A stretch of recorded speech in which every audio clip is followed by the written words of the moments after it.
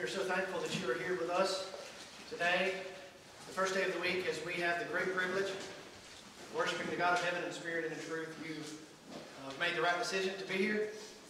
Uh, I know that I'm already so very blessed for being here from the good lesson Brother Jerry had this morning, the good comments, the good fellowship that we've enjoyed, and the wonderful songs that we've sung. What a privilege it has been to remember my Lord's death today. How often we forget these things. How often we have other things that are prevalent in our minds, and it ought not to be. As we learned this morning in the book of James, as it pertains to what Solomon said in Ecclesiastes chapter 5 and chapter 12, that, folks, if we're following after worldly things, we're following after the wrong things. We better think about this. This morning, we're going to ask a question. In the book of Deuteronomy, in chapter 18, and right around verse number 21, you have a question being asked as it pertains to the prophet. The question is, How shall we know the word which the Lord hath not spoken? Now let's think about that. How shall we, what's that word? Know. How shall we know? Let's take that and let, us make a lesson out of it. How shall we know that the Bible is true?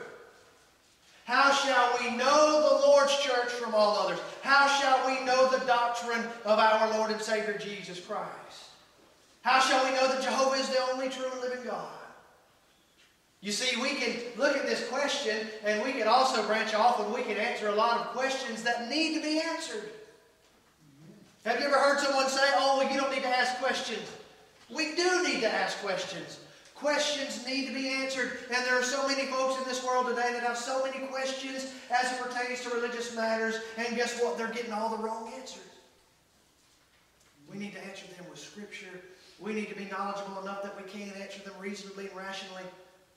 So let's study this together. Please, as always, prove me Please make sure that everything I say is as it ought to be. I would never willingly misguide anyone, but it, I, am fallible. Anybody that knows me knows I'm, I'm more fallible than some, I think. I am fallible. I can make mistakes, but this word is truth. Follow along with me and prove me in everything that I say, and I believe that you'll uh, be blessed for so doing. Let's ask the question again. Deuteronomy 18. Turn there if you want, or just look on the screen here. How shall we know? The prophets were to be tested. Uh, the text says this, but the prophet which shall presume. Let me stop. Already, let's stop. What does presume mean? You know, in 2 Peter chapter 2, he speaks about presumption in verse 10. And he says that those are presumptuous are self-willed. To be presumptuous is to presume to act when there is no authority. Well, I'll take it upon myself to do this. Jeroboam was presumptuous, wasn't he? uh, Saul in 1 Samuel chapter 13 was presumptuous just as he was in, in chapter 15. In chapter 13, he presumed to offer a sacrifice when he had no authority to do so. Nadab and Abihu were presumptuous in Leviticus chapter 10 because they presumed to take some fire from a source other than that which was prescribed. That's presumption. Think about it as it uh, relates to someone even a little closer to home. Moses Yes, even Moses presumed in Numbers chapter 20 to strike the rock instead of speaking to it. You see, he took it upon himself to alter the commands of God and do things his way. Presumption. If any shall presume to speak a word in my name, which I have not commanded him. Notice how that correlates to presumption. There's no authority for him to speak this, but he spoke it anyway.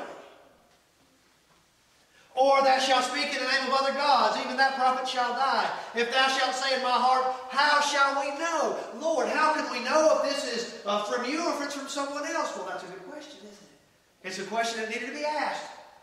And it's a question that's going to be answered. When a prophet speaketh in the name of the Lord, if the thing follow not, nor, not, uh, nor come to pass, that is the thing which the Lord hath not spoken. So if the prophet says, we're going to look at an example in just a moment. If the prophet says, hey, guys, don't worry about it. You're in captivity in Babylon, but guess what? It's temporary. In two years, you're going to be relieved. No, no, no. You see, that thing didn't come to pass, did it? Therefore, this guy is a liar. He that believeth and is baptized shall be saved. That's what truth says. But the other folks, the folks that like to, to tell you something else, they'll tell you, oh, you all you have to do is believe, and then you're saved, then you can be baptized. That's not what the Bible says. You don't want to offend anyone, but that is a lie. Period. But the prophet that has spoken it presumptuously, thou shalt not be afraid of him. So we understand that if a thing was spoken and it did not come to pass, that was not from God, but it was from his own what? It was from this man and his own little deceitful little heart, wasn't it? Notice that some prophets were actually liars. We've said a lot of times here that there is a use of uh, accommodative language in Scripture at times. In other words, they were spoken of as being prophets even though that they weren't really prophets, right? Because a prophet is a mouthpiece of God. Well, some folks were false prophets, but at times they're still referred to as what? Prophets. Don't let that fool you into thinking that that's in the true sense of the word. These were actually liars. Notice that God spoke concerning the length of the captivity in Jeremiah 25. Beginning in verse 11, it says, And this whole land shall be a desolation and an astonishment, and these nations shall serve the king of Babylon 70 years. And it shall come to pass that when 70 years are accomplished, that I will punish the king of Babylon and that nation, saith the Lord, for their iniquity in the land of the Chaldeans, and will make it a perpetual desolation. He said, after 70 years. Notice what man's wisdom says. Oh, Hananiah. Notice what he had to say. In Jeremiah 28, beginning in verse 1, it says, And it came to pass in the same year, in the beginning of the reign of Zedekiah, king of Judah, in the fourth year and in the fifth month, that Hananiah, the son of Azur the prophet, which was of Gibeon, he spake unto me in the house of the Lord, in the presence of the priest and of all the people, saying, Thus speaketh the Lord of hosts, the God of Israel, saying, I have broken the yoke of the king of Babylon. Within two full years will I bring again into this place all the vessels of the Lord's house that Nebuchadnezzar, king of Babylon, took away from this place and carried them to Babylon. And I will bring again to this place Jeconiah, the son of Jehoiakim, king of Judah, with all the captains of Judah that went into Babylon, saith the Lord. For I will break the yoke of the king of Babylon. Now, you know Jeconiah was spoken of as being one that would be rendered childless. Never again would his heir reign upon the throne in Jerusalem. This man is saying that within two years, oh, thus saith the Lord. He says, he appeals to the Lord for his authority, and then he speaks a lie in the name of the. That's what folks do today. Well, God spoke to me in a dream, and He said, All you have to do is send me $500 and you're saved. It's a lie. Oh, the Lord spoke to me. Oh, well, I, I saw a vision, and it says, All you have to do is believe in your heart and you'll be saved. It's a lie. Well, the Baptist church has spoken, and it says, All you have to do is accept Jesus in your heart and you're saved. That's a lie. This was obviously not of God. Now let me ask the question, how can we know that this man was a liar? Because God had already said otherwise. And the thing that he spoke did not come to pass. You know what makes me sad? Of how many people believe false doctrines today and they take it to their graves. You know what's sad about that is you can't see the outcome of it, but you know the outcome. This was proven to be false because it was something of a physical nature that could be proven to be false. Now, the bad thing about these folks is they, they take it to their grave, and guess what? They wake up on the wrong side of eternity. That's a terrible thing. The Lord prayed to the Father in John chapter 17 and verse 17, and he says, Sanctify them through thy truth. Thy word is true. God's Word, the New Testament, the, the, the Old Testament, the 66 books that we have, they claim to be truth. Now, are they or aren't they? We can know what has and has not been authorized. True or false? Colossians 3.17, and everything you do in word or deed, whatsoever you do in word or deed, do all in the name of the Lord. Acts 4 verse 7, to do in the name of the Lord is by his authority. Now, true or false, God has given us everything that we need to, to seek authority for and to live our entire lives. We have everything we need to know that we can worship acceptably with this word.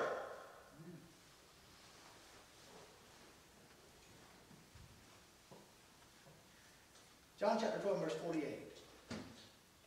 word which I have spoken to you, the same shall judge you in the last day. Now do we have our standard of judgment? We do.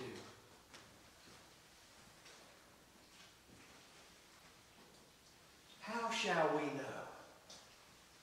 How shall we? Have you ever been discussing anything with anyone and, and I say, look, you can believe the Bible all you want to, that's fine, but I know it's been corrupted. I just know it's been around, and man has corrupted it. It's been copied so many times, and the people in authority, have you ever heard this? The people in authority are the one that had it recorded, so it has it has a, a skewed view of things. They've put their little things in it that they want. Have you ever heard that? I've heard it. They're wrong.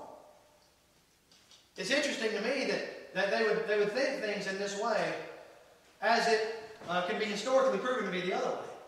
But let's notice, how can we know? Let's not talk about secular things. From the Bible itself, how can we know that the Bible is true? How shall we know? How about scientific foreknowledge? You know what? This is one of my favorites.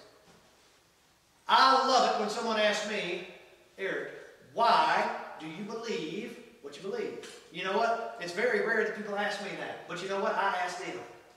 And then I'll tell them why I believe. Have you ever talked to an atheist? Well, I have no good reason to believe that there's a God. Well, would you like me to give you a few? Scientific foreknowledge is a pretty good reason. Let's look at a few things.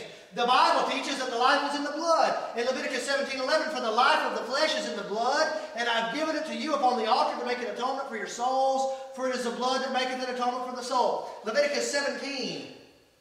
In the early stages of the Levitical priesthood, in the early stages of the law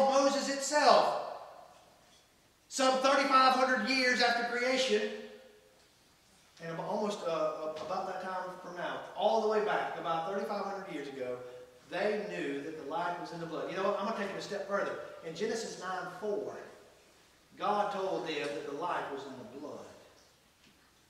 The life is in the blood. Now, what does that have to do with? Well, let's just notice. In the past, ignorance of blood's value caused some learned men to do tragic things. For instance, if you Scientific foreknowledge is a pretty good reason. Let's look at a few things. The Bible teaches that the life is in the blood. In Leviticus 17 11, for the life of the flesh is in the blood, and I've given it to you upon the altar to make an atonement for your souls, for it is the blood that maketh an atonement for the soul. Leviticus 17. In the early stages of the Levitical priesthood, in the early stages of the law of Moses itself, some 3,500 years after creation, and almost uh, about that time from now, all the way back, about 3,500 years ago, they knew that the life was in the blood. You know what? I'm going to take it a step further. In Genesis 9 4, God told them that the life was in the blood. The life is in the blood. Now, what does that have to do with? Well, let's just notice. In the past, ignorance of blood's value caused some learned men to do tragic things. For instance, during the Middle Ages, and even into the 19th century, doctors believed the harmful vapors entered the blood and caused sickness. For this reason, leeches were applied to victims of fever and other illnesses in an attempt to draw out blood containing these vapors. The veins and arteries located just above the elbow were opened, and the patient's uh, arms were bled to expunge the contaminated blood. George Washington died because of misplaced medical zeal. Maybe you've seen the red and white striped pole at the barber shop. In the Middle Ages, barbers did much more than cut hair. They also performed minor surgeries, uh, tooth extractions, for instance. One of their most frequent feats was bloodletting. They kept on supply, uh, uh, or kept on hand a supply of leeches. They would actually bleed you because they thought the, the problem was the blood. Well, God had said 3,500 years ago, and let's go even a step further, God had said right after the flood that the life was in the blood. God had said it thousands, literally thousands and thousands and thousands of years before man ever figured it out. But man's so smart. Well, it must be those bad vapors in your blood. Let's let a little blood out, see if that helps. What a very good idea.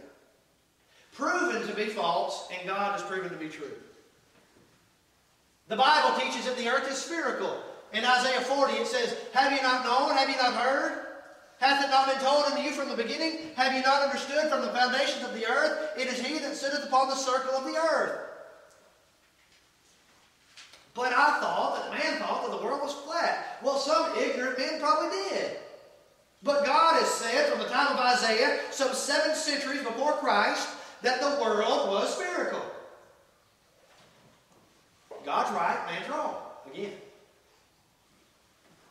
Let me ask you a question. How did they know? Was the Hubble telescope around at that time? Was, was there satellites that could beam back images to Earth of the spherical nature of the Earth? Was? I'm just curious. I don't think there was. I, I think that's a pretty recent invention. Well, let's ask the same question about the fact that the earth is suspended. In Job chapter 26 and verse 7 it says, He stretcheth out the north over the empty place and hangeth the earth upon nothing. Well, you know, a lot of the uh, a lot of the folks in ancient history thought that the world was held up by someone. Atlas comes to mind.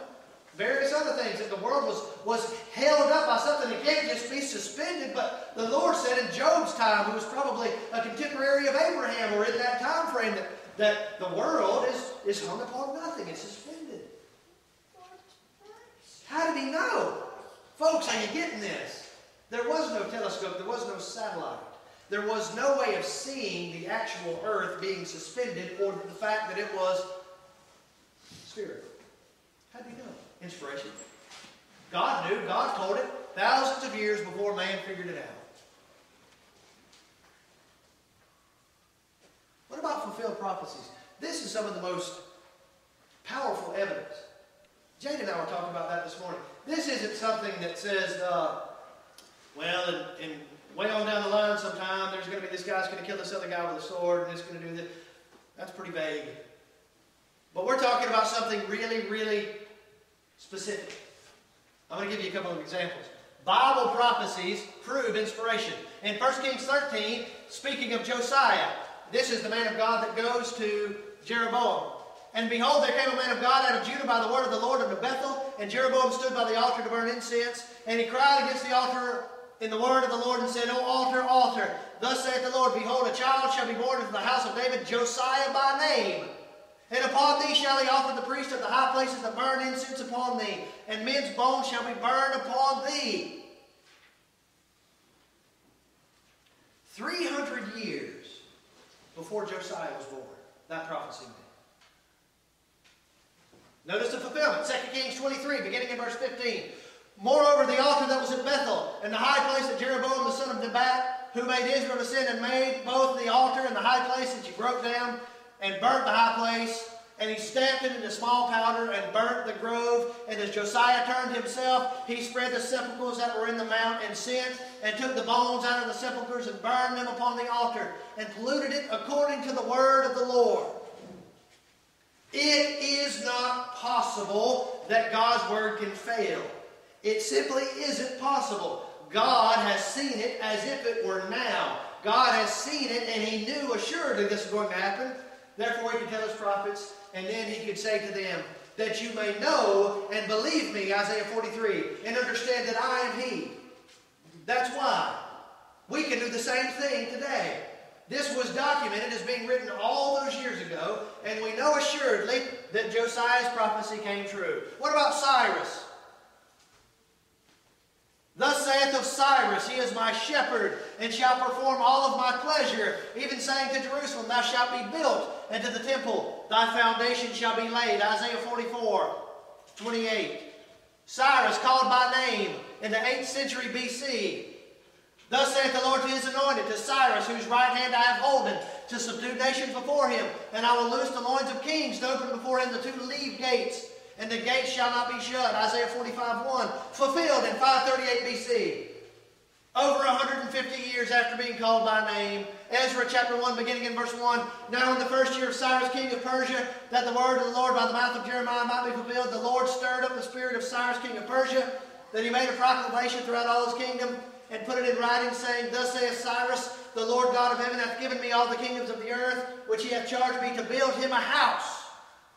The rebuilding of the temple through Cyrus, pretty specific. 150 years plus. Prophecies concerning Jesus centuries before he came into the world. Isaiah 7, Ask a sign of the Lord thy God, ask it in the depth or in the height above, but Ahaz said, I will not ask. Let's skip down. Therefore the Lord himself shall give you a sign. Behold, a virgin shall conceive. I'm going to go ahead and tell you something. That doesn't happen. Virgins don't conceive. That's the very nature of virginity. This one did. It doesn't happen every day. That's pretty specific. Fulfilled. Matthew 1. Now all this was done that it might be fulfilled, which was spoken by the Lord by the prophet, saying, A virgin shall be with child, and shall bring forth a son, and they shall call his name Emmanuel, which is being interpreted, God is with us. Joseph didn't know her sexually until after Jesus was born. Mary was a virgin.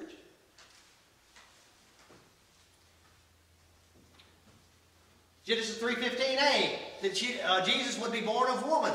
Well, everybody's born of woman. Well, not everybody's born of woman only. As was the case here. There was no man involved.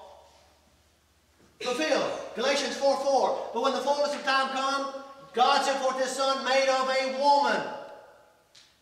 That he would be the seed of Abraham. Genesis 22 18a. In thy seed, speaking of through Isaac fulfilled. Galatians 3.16, Now to Abraham and his seed were the promises made. He saith not unto seeds as of many, but as of one unto thy seed, which is Christ. Spoken of thousands of years earlier, fulfilled in Christ. Born in Bethlehem, Micah 5.2. Fulfilled, Matthew 2.1. That Herod kills the children, Jeremiah 31.15. Fulfilled, Matthew 2, 16 through 18. How shall we know the true God? How can we know? Well, there's a prophet that conducted a test. 1 Kings 18. Elijah challenged Ahab to assemble the priest of Baal and the grove together to find out who the real God was in 1 Kings 18, 17 through 20. Verse 21, he asked a question. He says, How long halt ye between two opinions? If the Lord be God, follow him, but if Baal, then follow him. And the people answered him not a word. Verse 23, he issues a challenge and said that the God that answers by fire, let him be God. The prophets of Baal dressed the bull and called upon their God from morning till noon with no answer. Verses 25 and 26. Elijah mocked them, asking if their God was talking or sleeping or using the bathroom. Verse 27. That's pretty bad. These prophets began to cry aloud and cut themselves in desperation, yet no answer came. Verses 28 and 29. Notice the result. And it came to pass at the time of the offering of the even sacrifice that Elijah the prophet came near and said, Lord God of Abraham, Isaac, and Israel, let it be known this day that thou art God in Israel, and that I am thy servant, and that I have done all these things according to thy word. Hear me, O Lord, hear me, that this people may know that thou art the Lord God. And that thou hast turned their back again. Then the fire of the Lord fell and consumed the burnt sacrifice and the wood and the stones and the dust and it licked up the water that was in the trench. And when all the people saw it, they fell on their faces and said, The Lord, Jehovah, He is God. There's only one God. Jehovah is the only God that man has ever known, Isaiah 64. For from of old men have not heard, nor perceived by the ear, nor hath an eye seen a God besides thee He is the creator, and there is none but him. Isaiah 43, Ye are my witnesses, saith Jehovah, my servant whom I have chosen, that you may know and believe me, and understand that I am he. Before me there was no God formed, neither shall there be after me. I, even I am Jehovah. And besides me there is no Savior. There is no God but God. Jehovah God is the only God. There is no Allah. There, there is no Oriental mysticism we are not gods. The Mormons are wrong. We're not going to be as God is now. The Mormons teach that as God is now, or as man was, or as God, uh, as man is, God once was. They teach that God used to be a man. That's not true. God is eternal. He is sovereign. Jehovah is the creator. Isaiah 42, 5. Thus saith the Lord God, He that created the heavens and stretched them out, He that spread forth the earth, and that which cometh out of it, he that giveth breath unto the people upon it, and the Spirit to them that walk therein. There is only one God. How can we know? We have His Word, and we can prove His Word. Likewise, so many today create idols and accept adultery, fornication, unfaithfulness, indulgence of self, rather than denial. This is a God created in the image of man. We can know the true God by His Word, which reveals His nature. It reveals His judgment. We can know assuredly that He is God. Hosea 13 verse 4. Yet I am the Lord thy God from the land of Egypt, and thou shalt know no God but me, for there is no Savior besides me. How can we know the true church? It's distinct, isn't it? It's distinct from all others. Its creator is Christ, Matthew 16, 18. It is not of man, Daniel 2.45. It is that rock that was cut out of the mountain, with hands or without? Without hands. No man was involved. It began on Pentecost in AD 30, Acts 2. Any church started after this is not the church. It was made possible by the gospel of Jesus and the facts behind it, Acts 2, 16 through 38. It started in Jerusalem, not in England.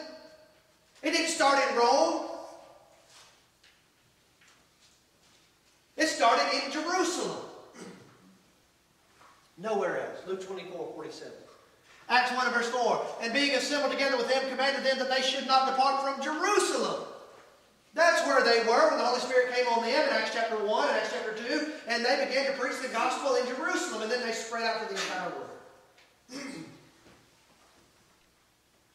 When folks obeyed the commandments given by the Holy Ghost, Acts 1 2, they were added to the one and only church, Acts 2 41 47. That's simple. Trust what the Lord said and do it, Mark 16 16. It's not that difficult, is it? The only way into Christ is through His gospel, Ephesians 3 and verse 6. How can we identify the true church? It is distinct in authority, isn't it? Colossians 3.17 Jesus said in Matthew 28, verse 18, All authority has been given to me in heaven and on earth. We look to Christ for his authority, and we only do so through his inspired word. It is distinct in structure. Local autonomous congregations are overseen by qualified, willing men called elders or presbyters or shepherds or bishops. And they must meet the requirements, Titus 1.5, and there's always more than one. It is distinct in that it has only one head, Colossians 1 18 24. The Doctrine and Covenants of the Mormon Church say that Joseph Smith is the head of the church. They're wrong. He might be the head of their church. That's fine. That's not Christ's church. Jesus Christ is the head of his church, and there's only one head, and there's only one body. There are just as many churches as there are lords, Ephesians 4. How many? One Lord. This is the church that Jesus loves, Ephesians 5.23. This is the church that Jesus will save. And this is the church that Jesus washed and sanctified, Ephesians 5.26. How shall we know the doctrine of Christ? 2 John 9, Whosoever uh, transgresseth and abideth not in the doctrine of Christ hath not God. But he that abideth in the doctrine of Christ hath both the Father and the Son. You'll have liberals tell you that the doctrine of Christ is simply the doctrine concerning Jesus. That it's just all that Jesus is the Son of God. That's all you have to believe. That's not the doctrine of Christ. In Matthew chapter 16, Jesus warned them of the leaven of the Pharisees. And then they realized that he warned them of the doctrine of the Pharisees. Now, was it the doctrine that the Pharisees were, or was it the doctrine that the Pharisees taught? Question mark. That's a question. You know the answer, don't you? It's the doctrine that they taught. The doctrine of Christ is the doctrine that Jesus taught. Personally, Hebrews chapter 2, verse 1, or through his inspired men, Hebrews 2, 3 through, uh, 2 through 4. Either way, it's still the doctrine of Christ. Where can we go to find the doctrine of Jesus but to his own word? In Ephesians 4, beginning in verse 20, it says, But ye have not so learned Christ, if so be that ye have heard him and have been taught by him, as the truth is in Jesus. What does it say? What do we do? How do we know that you put off concerning the former conversation, the manner of life, the old man, which is corrupt according to the deceitful lust, and be renewed in the spirit of your mind, and that you may put on a new man, which after God is created in righteousness. How's that? Know ye not to whom you submit yourselves servants to obey, his servants you are to whom you obey, whether sin unto death or obedience unto righteousness. How? Through obedience to the truth. Romans 6, 16. That's how. Certainly, we ought to echo the sentiments of Peter. The Lord tells Peter, in, in Luke 5, they're washing their nets. They're finished. They're done. You know what he tells them? Go back out. Go back out and cast your net down. Well, we've been doing it all night, Lord.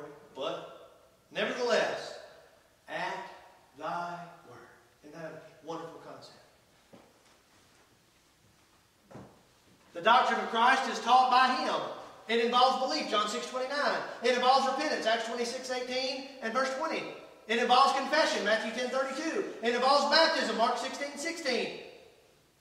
It involves all of our actions as being regulated by His Word. For worship, John 4, 24. For living, Ephesians 5, 10. For marriage and divorce, Matthew 19, 6 through 9. we can not only know, but we are expected to know, Luke 10, 26. Let me conclude with this thought. The American Standard in Ephesians 5.17 says, Wherefore be ye not foolish, but understand what the will of the Lord is. It is foolish to not study, to not dig, to not do your very best to understand what the Lord expects of you. Are you today going to be foolish and ignore it? Or are you going to do something about it? Are you going to ask questions? Are you going to want to study? Are you going to want to discuss it? I promise you one thing. Uh, there's a bunch of folks in here who would gladly do it with you, and you're looking at one. I'll do it. Anytime. I'm happy to. I'd like to extend the invitation at this time. Are there any here today that have never obeyed the gospel?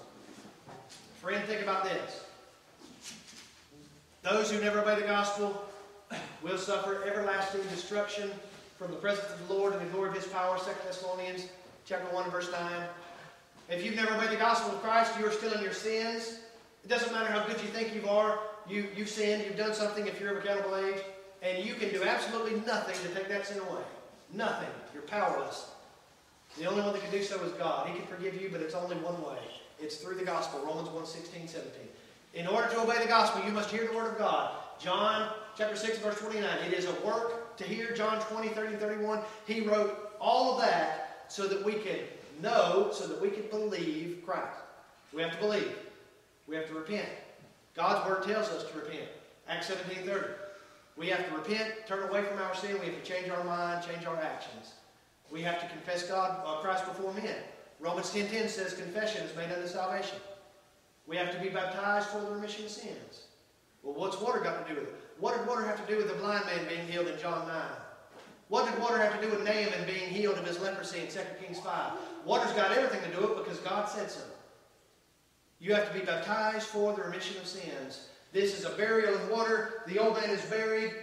The sins stay in the water as you come about. You are a new creature. You are forgiven of all trespasses. Folks, it really is just that simple. Colossians 2, 11 through 13. You have to remain faithful every day of your life, living for Jesus, walking in the light of His Word. 1 John 1. Let me ask you a question. How can you walk in the light of His Word if you don't know what His Word teaches? Study it.